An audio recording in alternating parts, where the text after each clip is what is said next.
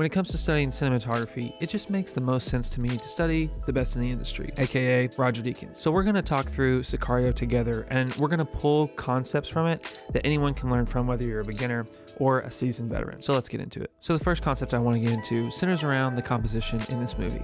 And honestly, there's a ton of different notes we can take from the composition in this movie. For one, how to make a shot of four people actually look compelling. Or another one is are the amazing contextual inserts that are in this movie that are just done so well, or even the brilliant use of negative space. But what I really want to focus on are the highly effective video portraits in this movie. Now, when I say portraits, you're probably thinking about the worst senior photos you've ever seen.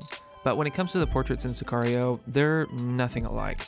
You see, these are highly effective one shots of characters, and every video portrait, if you will, in this movie conveys an intense amount of emotion and really gives us an inside look into whatever the character is feeling in that moment. Obviously, Roger Deakins uses this technique really well.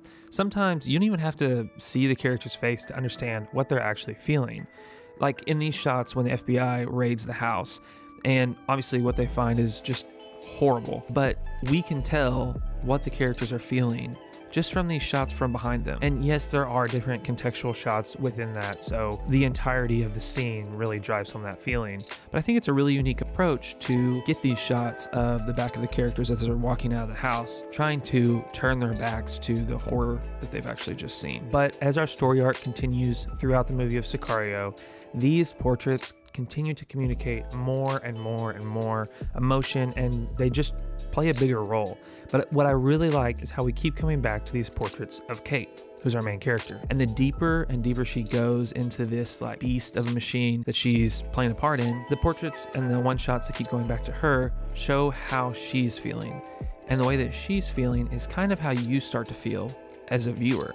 It's like the more unsettled that she feels about the situation, the more unsettled you feel about the situation. On that note, as the movie is wrapping up and we see Kate in her apartment, it's really clear that the way that she's feeling is the way that we all feel.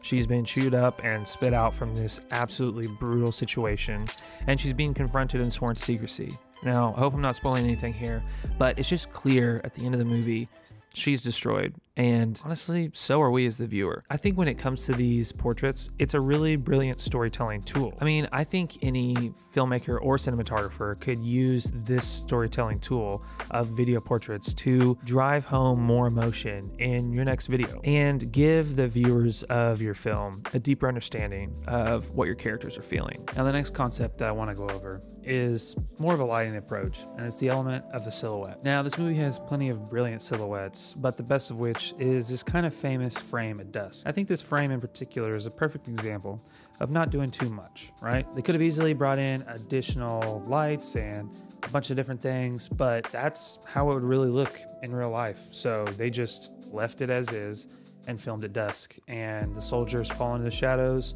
and you get to see the beautiful skyline. It's just a beautiful frame. And you can even look through the rest of the movie and find a bunch of pretty solid silhouettes that enhance the visual storytelling. But what i really want you to take away from this shot in particular is just how simple it is and how as a filmmaker or a cinematographer, you don't always have to overcomplicate everything. Sometimes just shooting what's naturally there is the right move. And I think it was the right move in this situation. And our final concept I want to go over is the element of reflections. And this is something that Roger Deakins is pretty famous for. You can find it in most of his movies, but in this one, it plays a particularly important role in the storytelling. You can see him using it to just add more context to a shot so you can see almost two points of view, but he even just uses it to add just some more visual interest to a shot of a character looking out a window. However, my favorite use of reflections in this movie is this shot of this bracelet on the keychain. Now, contextually, actually this is a bracelet that Kate knows really well because it links whoever has it to the cartel. So when she sees this bracelet, you can see her blurry in the background, but then focus pulls into the reflection of the coffee table to see her reaction, and a huge fight starts between them. And I'm not gonna get into it, but it's a great piece of context when it comes to storytelling, and I think it's a really great use of reflections. Honestly, there's plenty of different ways you can use reflections. The way that you see here isn't the best one, so I'd look to Roger Deakins to figure out how to use them best. But I think it's really cool how he uses reflections to just show the landscape around the characters. Like instead of shooting the landscape itself, he just turned the camera in and pointed it towards a car window, and that's how he shows it in the reflection of the car window. I think that's sick. Or this almost top down shot where we see Kate in one side of the frame and then her reflection in the other side of the frame. It's just a really cool shot, and it works so well here. As filmmakers and cinematographers, I think it's important to study the top films in our industry and the people that made them. So hopefully after you've watched this video, you've learned three solid concepts from the man himself, Roger Deakins. But I would encourage you to not stop there. I think you should go out and use these techniques in a shoot.